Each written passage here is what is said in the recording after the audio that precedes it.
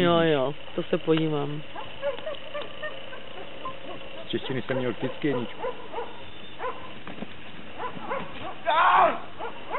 Mnie! No.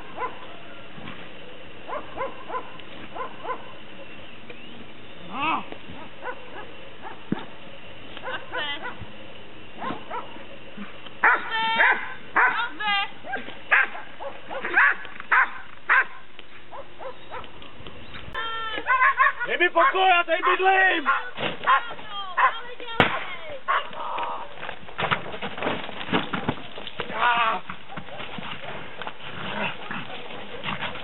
A je vončo, bezvadný. Stíhej!